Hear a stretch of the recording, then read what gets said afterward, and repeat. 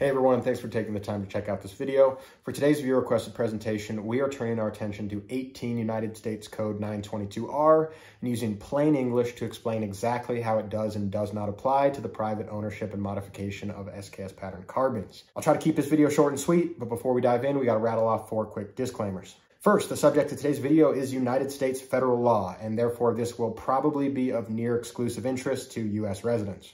Second, I am not a lawyer and nothing in this video represents legal advice. In this and all other legal matters, I encourage my viewers to consult multiple sources and better yet, take time to read the law for yourself.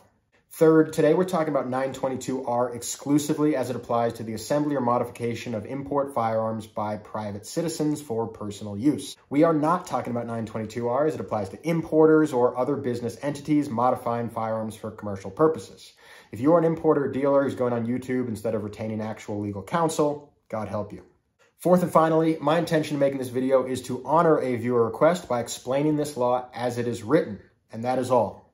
Unlike the US federal government, I am not in the business of telling adults how to live their lives. If you want to carry on in the comments about compliance or non-compliance, you're more than welcome to. But please remember, I'm not the one telling you to do anything. That's neither my business nor my concern. All right, disclaimers are done, so let's get right down to it.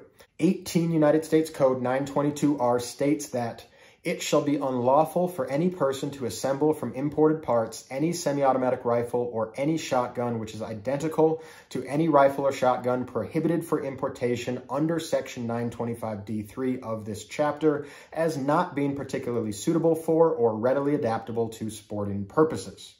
Okay, so what does that mean? Well, it means a lot less than you might think, or rather it's missing a lot of critical context. 922R is statutory law, and therefore it really doesn't provide a lot of the information which is relevant for people like you and I. In order to understand exactly what this is saying and how it applies, we need to turn our attention over to regulatory law, specifically the Code of Federal Regulations. Before we do that, however, let's just translate what little we know so far. 922R cites a different piece of U.S. code, that was 925D3, and this is where we find a statutory restriction on the importation of firearms which are not particularly suitable or readily adaptable to sporting purposes. This establishes that certain types of firearms are unlawful to import into the United States, even if those firearms are otherwise perfectly legal to own, use, and transfer. Exactly what defines sporting versus non-sporting weapons is a little bit complex and ultimately beyond the scope of this video, but I'll share my little trick just so you get the idea. Picture a tweed jacket wearing, meerschaum pipe smoking hunter prowling his personal estate in search of quail. If you can picture that guy holding a particular weapon, the federal government probably considers it to be sporting.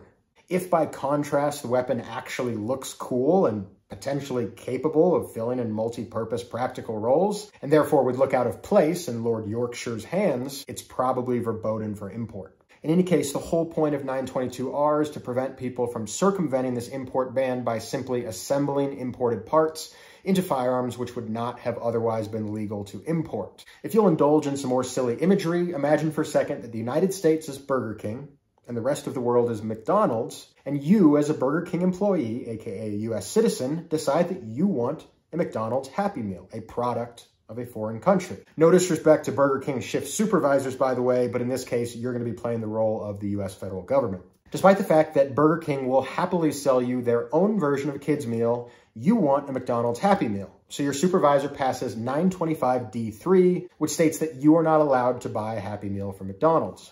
After further consideration, he also passes 922R, which states that while he can't prohibit you from possessing a McDonald's burger, fries, apple slices, and a toy, you are not allowed to put those ingredients together in a little red box and call it a Happy Meal. It's a lot like that, except with guns. All right, so now that we have hopefully a functional understanding of the intention behind the statute, let's switch over to looking at regulatory law, specifically 27 Code of Federal Regulations 17839. And here we can see a more useful articulation of exactly what is prohibited. No person shall assemble a semi-automatic rifle or any shotgun using more than 10 of the imported parts listed in paragraph C of this section, if the assembled firearm is prohibited for importation under Section 925D3 as not being particularly suitable for or readily adaptable to sporting purposes. The provisions of this section shall not apply to, and I'm skipping a few exceptions here and reading only the one that's relevant to us today. Three, the repair of any rifle or shotgun which had been imported into or assembled in the United States prior to November 30th, 1990, or the replacement of any part of such firearm. Lastly, we need to jump to paragraph C, which lists the 20 qualifying imported parts, and those are 1. Frames or receivers, 2. Barrels, 3. Barrel extensions, 4. Mounting blocks, aka trunnions, 5. Muzzle attachments, 6. Bolts, 7. Bolt carriers, 8. Operating rods, 9. Gas pistons, 10. Trigger housings, 11. Triggers, 12. Hammers, 13. Sears, 14. Disconnectors, 15. Buttstocks, 16. Pistol grips, 17. Forearms and handguards, 18. Magazine bodies, 19. Followers, and 20. Floor plates. All right, so now we've got some more concrete details to work with, but it's all still a little complicated, so let's break that part down into plain English. To that end, we'll return to our Burger King metaphor from earlier. All of a sudden, you, the Burger King employee, have a clever idea of how you can get your hands on that forbidden Happy Meal. You know you can't just buy a Happy Meal, and you can't assemble a Happy Meal of your own, but what if you substitute six of the French fries and one of the apple slices with ingredients you sourced from within Burger King? Is that a way you can get a perfectly legal and mostly satisfying Happy Meal? The short answer is yes, and 178.39 breaks down exactly where that line is drawn. Returning to the realm of firearms, 178.39 defines which and how many imported components need to be present for a firearm to magically transform, in the eyes of the law, from a U.S.-made firearm, which incorporates several foreign-made components, to a foreign-made weapon assembled in violation of federal import law. Conceptually, this is all very, very stupid, but at least there's a clearly defined standard. Now let's take everything we've learned and finally apply it to the SKS. Being that the SKS is a military weapon system, things aren't looking immediately promising for it in terms of it being deemed particularly suitable or readily adaptable to sporting purposes. Obviously, in reality, the SKS is extremely well suited for a wide range of sporting and non-sporting purposes, but remember the federal standard is really more based on abstraction than logic. This is the same standard that places a huge emphasis on features like bayonet lugs, let alone intact folding bayonets. After all, the continental United States has enjoyed very low rates of bayonet charges, at least since the Civil War, and the federal government is very serious about keeping it that way. All jokes aside, in this case, the military provenance of the SKS is actually a benefit from an importation perspective, as C&R military surplus rifles are actually exempt from all of the laws we've gone over so far, at least as long as they retain their curio and relic status. In other words, if an SKS pattern carbine has C&R status and remains in historically accurate configuration, it is not subject to the parts count or rules we've just gone over. Conveniently, most SKS patterns have C&R designation. All firearms manufactured 50 or more years ago to the day earn C&R status automatically, which means that all Soviet and Romanian SKS patterns qualify. Not all Yugoslavian and Albanian rifles are quite 50 years old yet. However, these variants are both listed by name on the ATF's officially published C&R list, which means that all Yugo and Albanian variants have C&R status whether or not they're 50 years old. Really, the only common variant of SKS pattern that does not have C&R status are later Chinese examples. This video is being filmed in 2023, which means that at this time, any Chinese SKS manufactured in or before 1973 is a C&R, and all those manufactured later are not.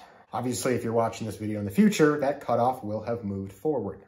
Just as a fun example, this 1972 production Type 56 carbine was not a C&R item when I acquired it years ago, but it just became a C&R last year while in my possession. That said, there were a ton of Chinese SKS patterns manufactured between 1973 and 1990, so there are still tons of examples that won't get C&R status anytime soon, like this 1979 M21, for example. So why is this rifle, despite not being a C&R item, not subject to those parts counts, you ask?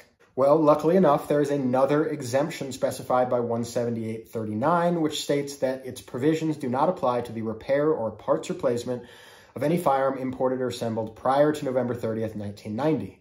Also known as pre-bans, this category basically covers all remaining Chinese SKS patterns, as in order for a non-C&R military configuration Chinese SKS pattern to have lawfully entered the country, it pretty much would have had to do this prior to that date anyway. That said, like the exemption based on C&R status, the exemption based on pre-ban status is also contingent on configuration. Specifically, these rifles must remain configured as they were imported or as they were configured prior to November 30th, 1990. In other words, most military configuration SKS patterns are not subject to import restriction-based parts counts because essentially 100% of them are exempted due to C&R status, pre-ban status, or in many cases, both. That said, both of these exemptions are only intact so long as the rifle remains in an approved configuration, which in most situations is going to be the original military configuration. So here's where we get to the crux of the video. Let's say you have an SKS pattern and for whatever reason you want to modify it into a configuration that doesn't enjoy C&R or pre-ban protection. There are a few good reasons and a whole lot of terrible reasons to do this, but again, I'm here to provide information, not judgment. Examples of these sorts of modifications would include adding an optic, using duckbill magazines, changing the stock to something with more modern features, or attaching a bipod. Kind of like this. As bizarre as it sounds, these actions are generally considered to constitute firearm assembly under the law and would result in a 922R non-compliant firearm. Near the end of this presentation, I'll talk about exactly how significant 922 violations may or may not be, but for now, we really just need to understand that that would be a violation, as the law is written. With that in mind, for now, let's entertain the possibility that you would prefer to comply with 922R, or at least would like to understand what compliance would look like, and you still want a modified SKS. One last time, we're gonna go back to our Burger King metaphor. If you really want a Happy Meal, there are ways to get it, but you need to swap out a few fries and apple slices. If you change one part on a 922R exempt SKS, the provisions outlined in 178.39 magically apply, and you suddenly need to change at least four parts. So let's break that down. Of the 20 potentially countable parts established in 178.39, the ATF has established that 14 are present in a standard configuration SKS carbine. The Yugoslavian M59/66 series includes 15 by virtue of its grenade launching muzzle device. That counts as a muzzle attachment. The parts which count towards a standard SKS configuration include the receiver, the barrel, the bolt, the bolt carrier, the gas piston, the trigger housing, the trigger, the hammer, the sear, the disconnector, the buttstock, the forearm, the handguard, the magazine body, and the follower. Once again, Yugoslav M59/66 and 5966A1 rifles include a 15th part, which the ATF calls a muzzle attachment. So if you wanted to assemble an SKS in a non-C&R or pre-ban configuration, that would be perfectly fine according to federal law so long as you replaced four of the parts on this list with parts of U.S. manufacture or five in the case of the Yugo. It's also worth mentioning that with the Yugo, you don't technically need to replace the muzzle device, if you remove it, that will have the same effect. Remember that US parts don't count for you. It's only foreign-made parts that count against you, and only if those foreign-made parts are on this list. So let's look at that list again and rattle our way down to see which parts are and are not realistic to replace. Generally speaking, most people building a custom SKS aren't going to be replacing their receiver, barrel, bolt, bolt carrier, or trigger guard. So that's a pretty much guaranteed five parts towards our total allotment of 10. In other words, most people will probably find it easiest to just look at this list of nine parts and pick four that they can replace. The gas piston is a fairly easy one. There's quite a few old Tapco gas pistons lying around, and they seem to work fine as long as you can find one for a good price. Obviously, that's a drop-in part, no gunsmithing required. The trigger, hammer, sear, and disconnector are all parts you can buy from Murray's Gunsmithing, at least when they're in stock. And these all seem to work fine as well. The only thing with these parts is it will require you to disassemble and reassemble your fire control group, which isn't necessarily hard, but it's not a simple drop-in installation either.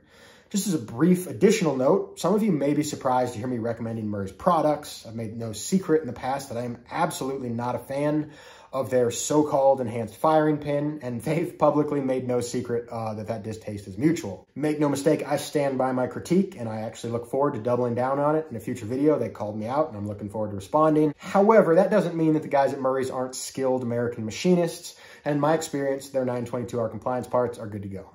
Obviously, the buttstock and handguard usually come as a package and are super easy drop-in parts.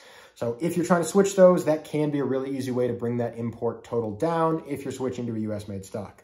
And finally, we have the magazine body and follower, which also count for two parts. So if, for example, you choose to set up your SKS with US-made duckbill magazines, that counts for two right there. And when you break it down like that, you see that should you choose to modify an SKS pattern in compliance with 922R, it's not that hard. A lot of guys switch to a US-made stock, handguard, and duckbill magazines, and as long as they aren't using a Yugo M59/66 with an intact muzzle device, that right there would be 922R compliant. It's not a setup I particularly like, but if you like it, more power to you.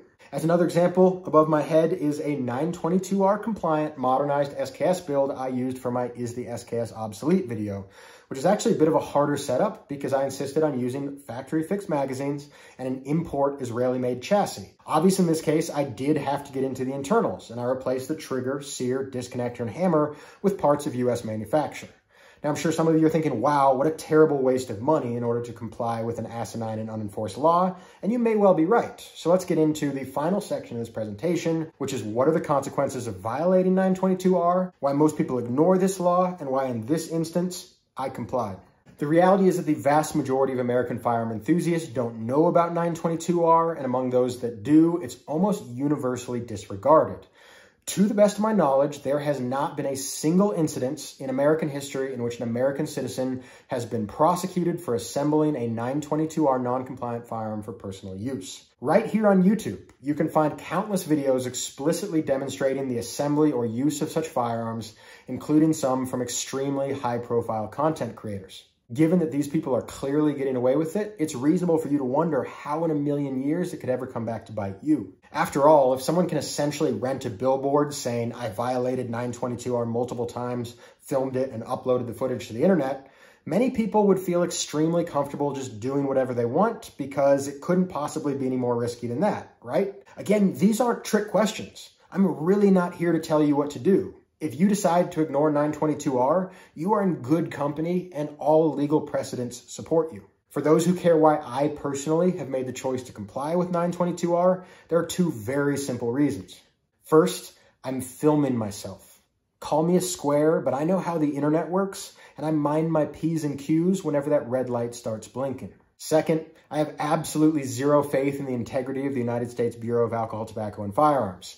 They have proven themselves to be an increasingly tyrannical regulatory body that makes a habit out of capricious policy reversals which are designed to intimidate and entrap people exactly like you and me. Just because they haven't historically enforced that law doesn't mean that it's not still on the books. And the statutory penalty for that level of federal firearm crime is up to five years in prison. My dad isn't the president of the United States, so if the ATF pulls a 180 and starts trying to pop people for this, I'm not counting on getting a sweetheart probation deal. One last time, I am not telling you what to do, nor sincerely do I care in the slightest. I'm only telling you that I have personally gotten increasingly convinced over the past few years that significant portions of my government are hell-bent on finding ways to recharacterize me from a law-abiding gun owner into a criminal, and the absolute last thing I'm going to do is hand them evidence on a silver platter. That's me. On an unrelated note, I'm sure that some of you viewers at home are thinking to yourselves, this is the stupidest thing I've ever heard of. What would stop me from just laser engraving US on otherwise unmarked firearm components? How could the ATF possibly prove what configuration my firearm was in on November 30th, 1990, or 50 years ago to this date? And gee, you know what? Those are all really good questions. I've never personally put much thought into those, although I hold out the possibility that the competent professionals at the ATF have a magical crystal ball for that kind of thing. That's the video, guys. Kind of a weird one, not a fun one, and actually left a bad taste in my mouth by the end, but I hope it cleared things up for those of you who asked. As always, thanks for taking the time to check out this video. If you found it to be helpful, entertaining, or otherwise worth the time you spent watching it, I would sincerely appreciate it if you could let me know by doing the YouTube algorithm stuff, aka hitting like, comment, and or subscribe. Thanks again, stay safe, and I hope you have a great rest of your day.